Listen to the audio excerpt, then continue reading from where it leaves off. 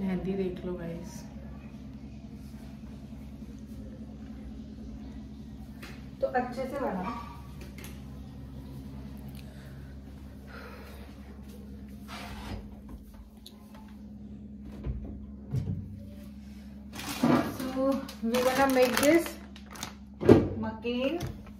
French fries French fries आ ये ठंडा क्यों नहीं है बहन इसको फ्रीजर में रखते हैं पता है? आप रखते हैं तो इसको है फ्रीजर में रखते हैं।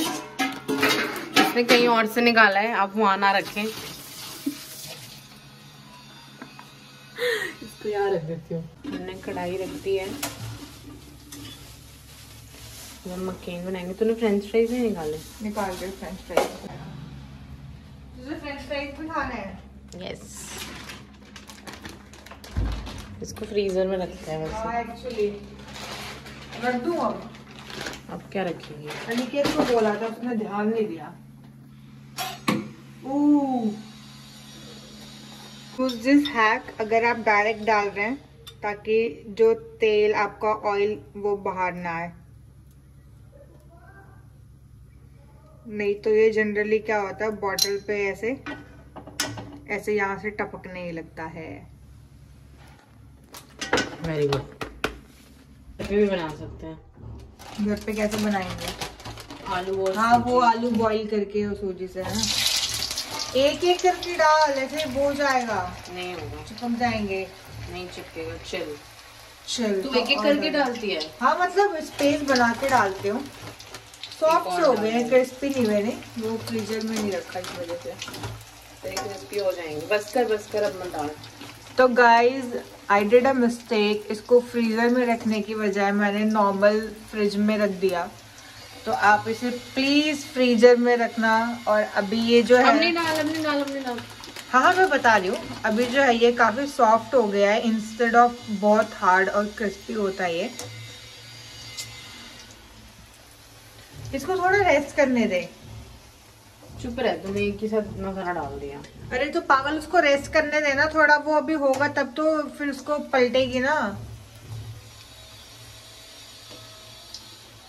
ये कुछ जगह भी तो मिलनी चाहिए ना वो होने के लिए। अभी ना और क्रिस्पी होंगे ना तब अच्छे लगेंगे। तूने क्या क्या वो उसको तो नहीं वो तो मैंने ट्राई करके देखा एक बार कि वो ये ना काफ़ी सॉफ्ट हो गया हमें इसे फ्रीजर में रखना था लेकिन हमने इसको फ्रिज में रखा। तो इससे क्या हो गया, ये सॉफ्ट हो गए। तो मेक श्योर sure आप इसे फ्रीजर में रखें ताकि ये क्योंकि इसका टेम्परेचर मेंटेन करके रखना होता है इसमें। कहीं तो लिखा होगा इस पे कितने टेम्परेचर हाँ माइनस एटीन डिग्री पे रखना और या फिर उससे बिलो पे टेम्परेचर पे रखना। है तो मैंने नॉर्मल फ्रिज में रखा था, ठंड का टाइम है तो फ्रिज का टेम्परेचर ऑलरेडी इतना कम कर रखा है। तो आप ये गलती मत करना। और स्माइली यही है तो लाइफ में चाहे कितने भी हार्डल्स आ जाएँ, कितने भी मुश्किल आ जाएँ, बंदे को हँसते रहना चाहिए क्योंकि ज़िंदगी तो यू नो खर्चती जा रही है मतलब खत्म होती जा रही है। तो आप जैसे बहुत से लोग हैं जैसे हमारे पेरेंट्स जो कि इस बात से वो बिल्कुल अग्री नहीं करेंगे उनको लगता है पैसे सेव करो ठीक है? एक एक सम पॉइंट पे पैसे सेव करने चाहिए लेकिन हमें सारी चीज़ें एंजॉय भी करनी चाहिए। जैसे कि अभी जो कैमरे के पीछे कैमरा मैन सॉरी वूमैन जिसने अपनी जॉब को रिजाइन मार दिया है काफ़ी सारा उसका मेंटल प्रेशर हो चुका था। तो अब वो जो एक डेढ़ महीना है ना मस्त अच्छे से वो गुजार रही है। मैंने उसे बोला कि बच्चे से एंजॉय कर बर्थडे तक घूमना चाहिए बच्चे को। तो फ्री का ज्ञान था लेना है लो वरना स्किप करके आगे देख लेना वीडियो एंड क्रिस्पी भी हो गया। वैसे कैसा लगा मेरा ज्ञान फ्री का? आई I मीन mean, मैं सही बोली या गलत बोली ऐसा होना चाहिए ये तो अग्री करती है या नहीं करती है? गाइस ये ज्ञान मेरा था इसका नहीं ठीक है? अयो मतलब और बेटर हो सकता था ये। तो गाइस अब हम बना रहे हैं। French fries ten ten ten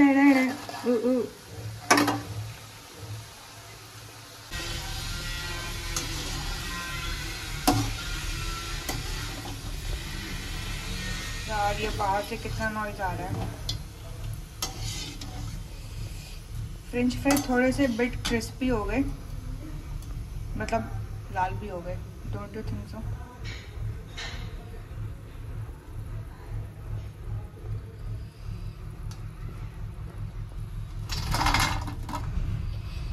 तो गाइज़ ये स्माइली है ये फ्रेंच फ्राइज है और ये हमारा शेजवान सॉस है।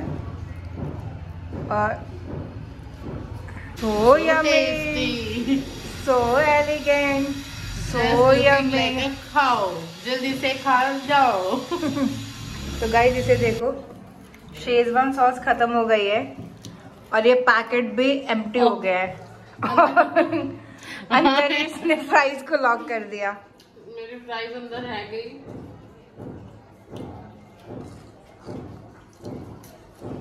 बिहाइंड द स्टोरी बीटीएस तो गैस फ्रेम में आने के लिए कोई कितने भी अच्छे तरीके से खा ले लेकिन बैक ऑफ़ द कैमरा सब लीचड़ ही होता है और लीचड़ तरीके से ही खाते हैं। अब तो ये निकल भी नहीं पाया इसमें से। चाट लो अभी से अरे बाबा। आ रही आ रही बाहर आ रही है। अरे बस बस। नहीं आ रही। हाय गाइस मैं इसके घर आई थी बस ये खा के मैं भागूँगी। इतने रोने के बाद इसने मुझे एक फ्रेंच फ्राइज वाले केक खिलाया। बस। रोने के बाद? हम्म। टाइम पे उठ गई थी मैं। झाड़ू नहीं किया झूठ। पोछा नहीं लगाया कुछ भी नहीं लगाया और ये सुबह सुबह आ गई। और आटे के साथ ही मैंने ये बना के से खिलाया है। She should be thankful to me साढ़े ग्यारह बजे जा रहे हैं सुबह के। सुबह है अभी। तो मैं लेट सोती हूँ। Okay guys bye bye